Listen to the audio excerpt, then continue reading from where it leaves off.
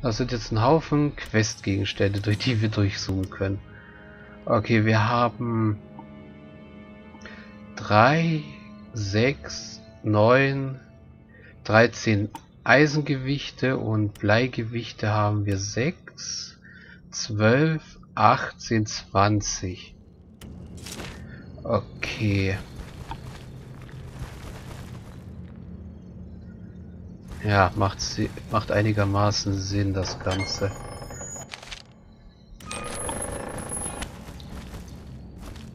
Jetzt gucken wir uns das Rätsel nochmal an. Also Kiste 1 benötigt zweimal so viel Eisen, wie Blei benötigt wird. Also, wenn sie ein Blei braucht, braucht sie zwei Eisen. Kiste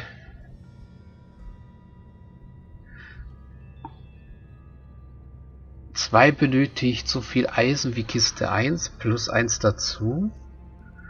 Ja, und Kiste 3 und äh, doppelt so viel Blei wie Kiste 3.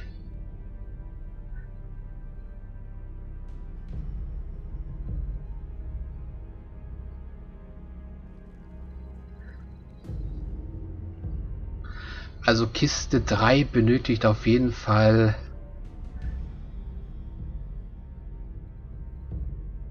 Kiste 3 benötigt auf jeden Fall viermal so viel Blei, wie sie Eisen benötigt. Also wenn ein Eisen drin ist, müssen auch vier Blei rein. Kiste 4 benötigt halb so viel Blei wie Kiste 2 und 3 zusammen.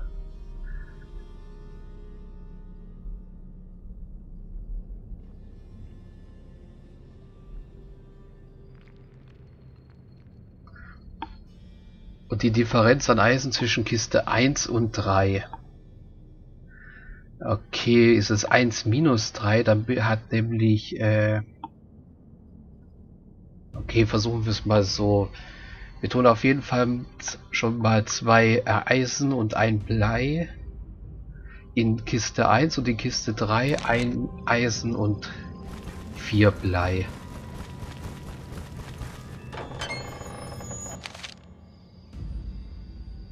Also Kiste 1 kommt ein Eisen und äh, zwei Eisen und ein Blei. Und in Kiste 3 gehört vier Blei und ein Eisen. So. Ey, das stimmt sogar. Die Platte leuchtet auf. Okay, also ist das schon mal richtig in Kiste 1. Gut, das hilft uns schon mal. Dann kommt, tun wir hier noch mal so viel rein. Ah ja. Okay, dann gucken wir noch mal auf das Rätsel. Benötigt so viel Eisen wie Kiste 1 plus 1, jedoch doppelt so viel bei wie Kiste 3. Kiste, also 5 Eisen und 5 Eisen und 8 Blei. Benötigt Kiste 1, 2, 3, 4, 5, 6, 7, 8 und 5 Eisen. So. Sind das 5 Eisen? Nein, das sind nur 4 Eisen. So. Und der Rest muss dann wohl in Kiste 4 hinein. Brauchen wir gleich mal mathematisch vorgehen. Jawohl. Und schon haben wir den letzten Teil, den letzten Drehstein. Sehr schön. Gut. Es ging ja eigentlich relativ einfach, das Rätsel, aber es war trotzdem interessant. Fand ich jedenfalls.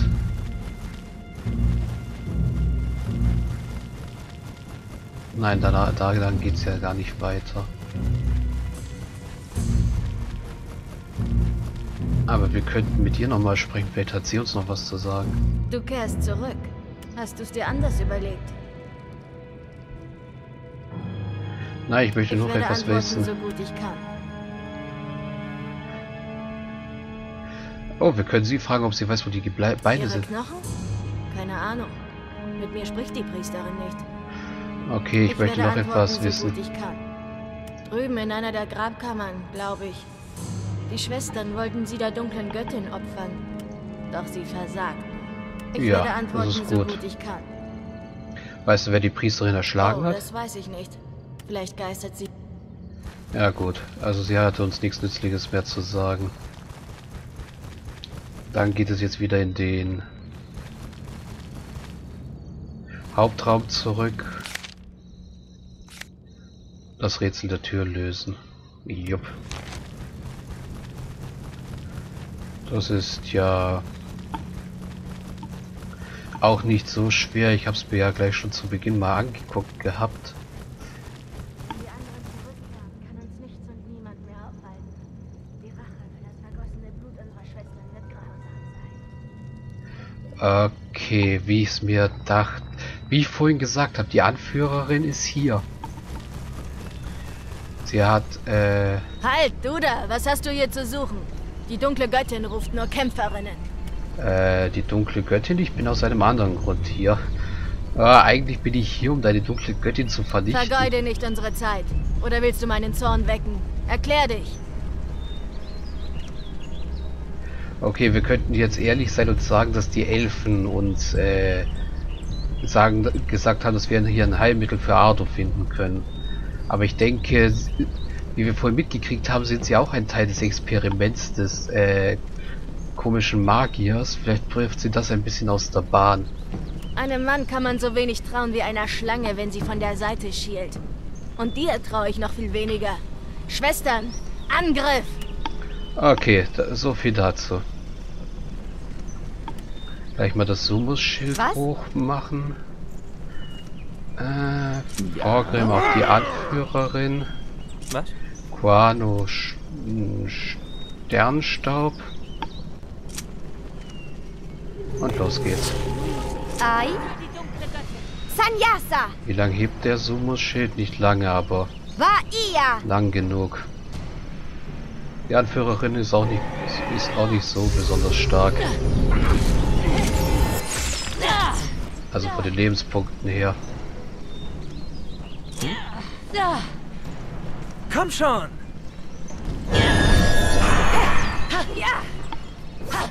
Ja?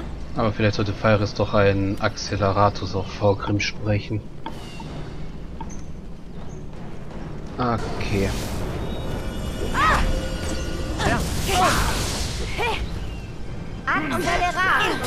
Auch wenn der Zauber ziemlich wenig ähm. Entfernung hat. Also ziemlich geringe Reichweite Ja. und Feiris ziemlich nah rangehen muss. Weiche. War ia. Äh, du kannst helfen, den von Quado zu besiegen. Ja. Vorgrim noch einen Wuchtschlag.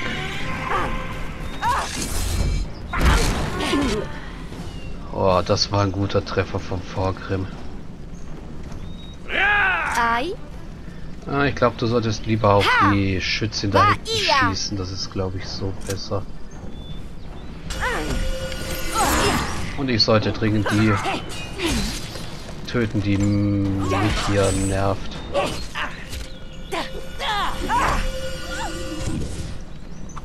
Ja. Äh, Quano könnte mal kurz helfen mit dem Sternenwurf.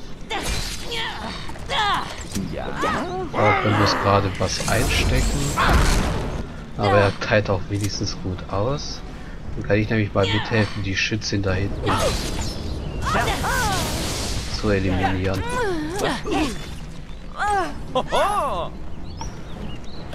Okay. Da Quano gerade keinen Karma-Punkt zur Verfügung hat, macht er mal einen gezielten Stich, das auch mal Ausdauer ver verbraucht.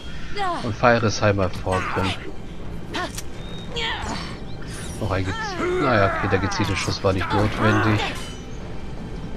Dann mache ich lieber mal einen gezielten Schuss auf die Amazone hier. Ja. Und folgt dann noch ein Wuchtschlag auf die, dann dürfte die auch Geschichte sein. So, genau. Was? Und du solltest eigentlich Vorgrim heilen. So, was hatte denn die schwarze...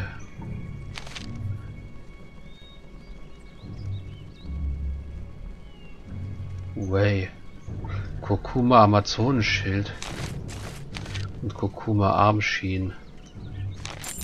Können nur vom weiblich getragen werden. Aber das Schild... Na? Vorgrim trägt zurzeit einen Buckler, den kann er mal gegen das Amazonenschild austauschen. Auch wenn es ein bisschen komisch aussieht, wenn er damit rumläuft.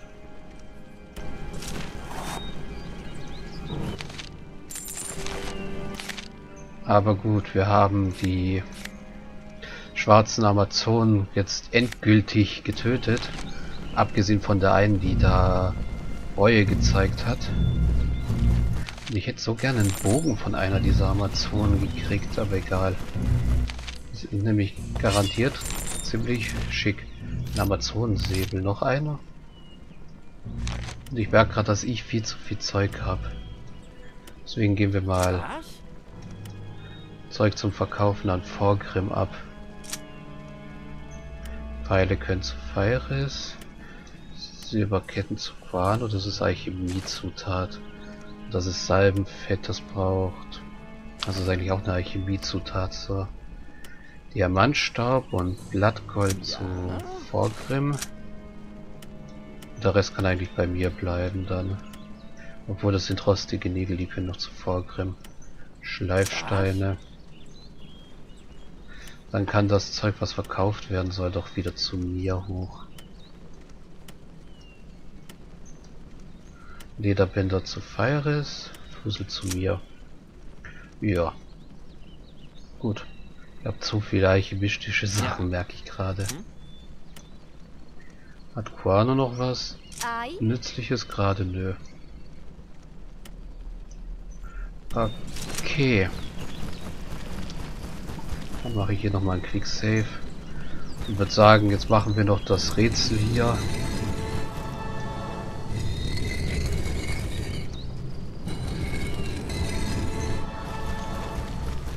Und dann mache ich meinen Cut. Die Als die Sonnenstrahlen aufgingen, beschloss der Kämpfer ohne Namen, den vertrauten Fluss zu verlassen, dem Wind zu folgen und dieser auch wehe. Also das erste müssen wir auf Sonne drehen, bis die Sonne vorne ist.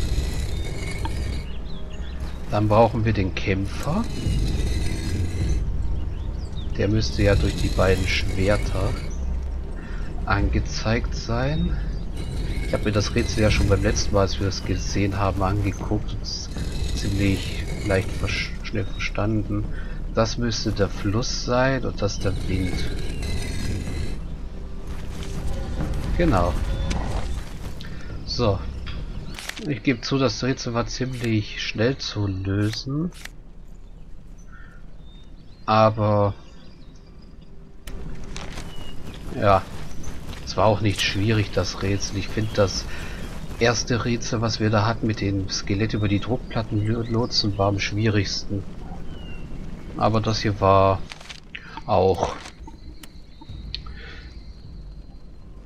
nicht auch, mh, wie soll ich sagen, sehr interessant eigentlich.